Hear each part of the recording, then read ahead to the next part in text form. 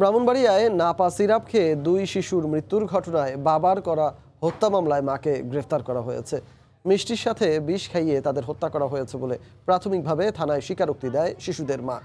বিকেল তিনটায় জেলা পুলিশ সুপারের কার্যালয়ে আনুষ্ঠানিকভাবে ব্রিফিং করবে পুলিশ। গত বৃহস্পতিবার রাতে আশুগঞ্জে নাপা সিরাপ খেয়ে দুই ভাইয়ের মৃত্যু হয়েছে।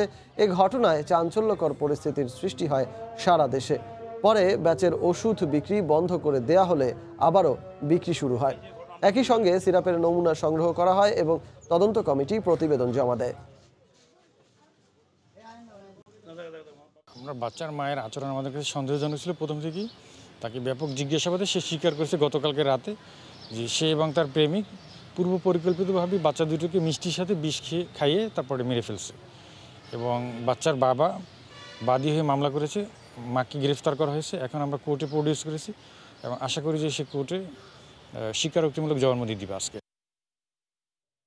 ব্রাহ্মণবাড়িয়ায় দুই শিশুর মৃত্যুর ঘটনায় মাকে আদালতে তোলা হবে। আজ এই মুহূর্তে ব্রাহ্মণবাড়িয়া আদালত চত্বরে আছেন আমাদের সহকর্মী উজ্জ্বল চক্রবর্তী। আমরা সরাসরি চলে যাব তার কাছে। উজ্জ্বল। ব্রাহ্মণবাড়িয়ার আশুগঞ্জের চাঞ্চল্যকর দুই শিশু হত্যাকাণ্ডের ঘটনার রহস্য এক সপ্তাহের মধ্যেই পুলিশ উদ্ঘাটন করেছে। আজ আমাদেরকে পুলিশের পক্ষ থেকে সেটি নিশ্চিত করা হয়েছে। শুরুতে বলা হয়েছিল নাপা সিরাপ খেয়ে দুই শিশুর মৃত্যু হয়েছে। আসলে পুলিশ ঘটনা কি ঘটনার পর থেকে কিন্তু বিষয়টি নিয়ে মাঠে নামে এবার পেছনের রহস্য উদ্ঘাটন করার জন্য তারা চেষ্টা করে। তারই অংশ হিসেবে কিন্তু আজকে তারা নিশ্চিত হয়েছে যে দুই শিশুকে মিষ্টির সাথে বিষক্রিয়া, বিষজনিত কিছু খাইয়ে তাদেরকে হত্যা করা হয়েছে। পুলিশ এই ঘটনার পরে আজকে সকালে নিহত দুই শিশু ইয়াসিন এবং মুরসালিনের পিতা আজ আশুগঞ্জ থানায় একটি হত্যা মামলা দায়ের করেছেন। এই মামলায় যে নিহতের যে মা, অর্থাৎ শিশু দুজনের যে মা, তাদেরকে পুলিশ গ্রেপ্তার করেছে।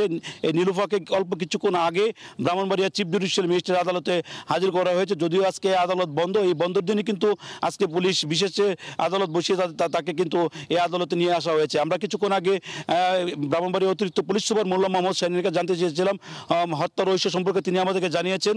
ঘটনার পর থেকে তারা এই যে শিশুদের মা নীলুফা তার যে মোবাইল ফোন, তারা সেটি ট্রেকিং করেছিলেন এবং তারা দীর্ঘক্ষণ দেখেছেন একটি লোকের সাথে কথা বলেছেন। সেই লোকের সাথে কথা বলার পর থেকে কিন্তু নীলুফাকে পুলিশের অবজারভেশনে রেখেছেন অর্থাৎ পুলিশের যে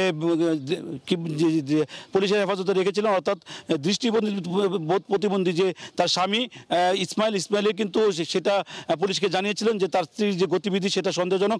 এরপর থেকে পুলিশ তাকে নজরবন্দি রেখেছিলেন। নজরবন্দি রাখার পরে কিন্তু আজকে পুলিশ আহ, ঘটনাটা নিশ্চিত হওয়ার পরে এবং পুলিশের হেফাজতে নিয়ে আসা হয়েছে নীলুপাকে নীলুপা পুলিশের কাছে প্রাথমিকভাবে স্বীকার করেছে যে মিষ্টির সাথে বিষ খেয়ে প্রেমিকের প্ররোচনার কারণে মিষ্টির সাথে বিষ খেয়ে তাকে হত্যা করেছে দুই শিশুকে হত্যা করেছে। এরপরে কিন্তু পুলিশ তাকে কিন্তু নিয়ে এসেছে আদালতে আদালতে ওয়ান সিক্সটি ফোর অর্থাৎ একশো চৌষট্টি দ্বারায় অল্প কিছুক্ষণের মধ্যেই আদালতে জবানবন্দি দেবেন বলে আমরা পুলিশের পক্ষ থেকে জানতে পেরেছি। বর্তমানে নীলুফাকে অতিরিক্ত চিফ জুডিশিয়াল ম্যাজিস্ট্রেটের আদালতে হাজির করা হয়েছে। এই ছিল আমার কাছে আদালত থেকে সর্বশেষ পরে বিস্তারিত এই সম্পর্কে আমরা আবারও জানিয়ে দেবো আপনাদেরকে।